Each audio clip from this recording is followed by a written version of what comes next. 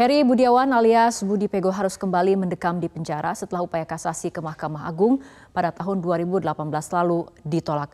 Aktivis Budi Pego ditahan hanya karena kritis menolak penambangan emas tumpang pitu yang merusak lingkungan. Budi Pego dituduh menggunakan logo mirip Palu Arit dalam pemasangan spanduk tolak tambang emas tumpang pitu pada 2017 silam. Budi pun dijerat tindak pidana penyebaran dan mengembangkan ajaran Marxisme, Komunisme, dan Leninisme. Budi lantas dijatuhi vonis 10 bulan penjara oleh Pengadilan Negeri Banyuwangi. Kemudian pada 16 Oktober 2018, MA meningkatkan vonis Budi Pego menjadi 4 tahun.